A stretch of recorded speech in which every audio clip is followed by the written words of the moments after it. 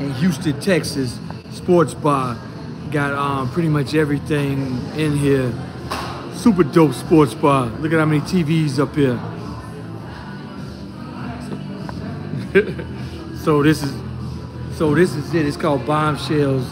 Um, it's in Houston. Let me show y'all.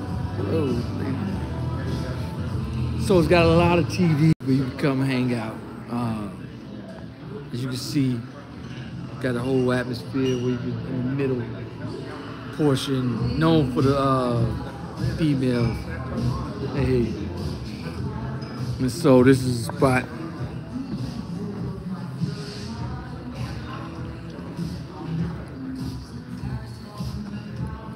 So you can sit down, relax up here, New York, what's going on.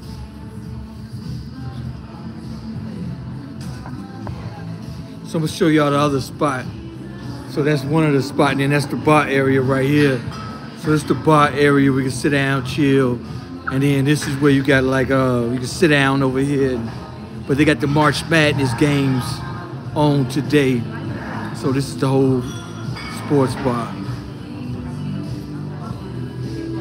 Then they got an outside area We could go outside and chill out, chill out.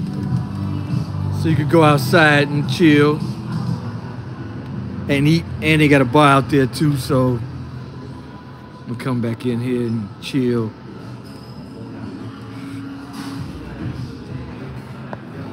So I'm here, uh, I'm gonna sit down at the bar. Well, not at the bar, but right here and um, they got like several big, they got like several different, uh, show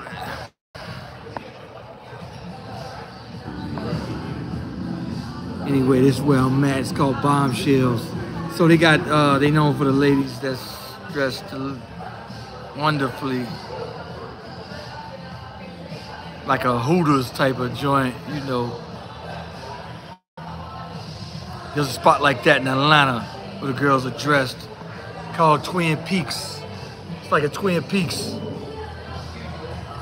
So, this is a dope spot to watch the game. Um, I like it. It's a nice little spot. So Houston, I'm having a blast out here. Houston is a dope spot to come. So everything in Houston, they got a lot of, everything is outside. They got the outside done up for everywhere. So if you do come here, man, and in the summer, it's gonna be 80, 90, no, no, no. It's gonna be 100 something degrees out every day. So they nightlife look like it's cracking because everything is just set up outside. Even like little burger joints are uh, got outside areas done up. So I got Young Corona.